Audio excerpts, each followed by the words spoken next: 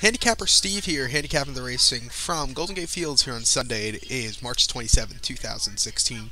Gonna look at today's third race. Before I get on to that, remember to please follow me on Twitter at Horse Racing Kid 5 for more selections. I'm Gonna have a pick 5 taken up there, hopefully. Maybe even a pick 6. But the problem is I can't play it because here in New York State, um, there's a law that you can't wager on uh, Easter Sunday, so it's just gonna be for fun playing tomorrow. Um, so today's uh, third race I'm gonna look at um, is allowance optional claim a purse $29,000 for three-year-olds and upwards which never won, uh, 10000 twice on the main claim starter, or which never won. Three races, our claim price is 62 and a half. We have a field of six horses traveling six furlongs over the Tapeta all-weather surface, and um, I'm going to find a single in this race, and that is the three-horse, oh God, um, hopefully I say this right, all about action all about action. There we go. 9 to 5. I never look at the names before I, I, start these videos. I really should sometimes. I really should. But all about action. 9 to 5. Russell Baze, Jerry Hollendorfer, this um, three year old gelding here, Keeneland, September 2014 graduate. Uh, they bought this horse for $200,000. So, But um, last time out, right now on the uh, 16th of January, uh, Golden Gate Fields, mile 16th in the Cal Derby, California Derby.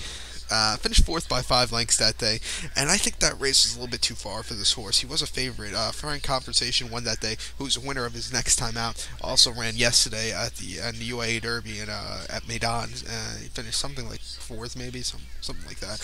But um, I think this horse cutting back to six furlongs today for the first time since his uh, maiden victory should be a plus. Um, the start before that was at Golden Gate, December 26th, one mile and optional 40 claimer one by one three quarter lengths that day. Was on or near the leads uh, most throughout, and then won just pretty easily, uh, going a mile.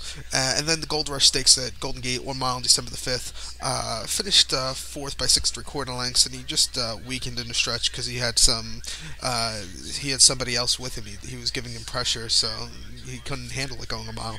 And then first career start was the 31st of October, Golden Gate, six furlongs in main special for 29,000. Uh, he won by nine lengths and just one off clear. Easy, easy, easy victory. So going to go with this one. This horse is going to be my single in the um, pick five. So to recap my bets for the third race from Golden Gate Fields, going to go with the three horse here. Um, remember to please follow me on Twitter at uh, Horse Racing Kid Five. If you want my uh, pick five ticket or my Golden Gate pick six ticket. So good luck to all and follow me on Twitter, Horse Racing Kid Five. Good luck everybody. You know all, all that crap, don't you?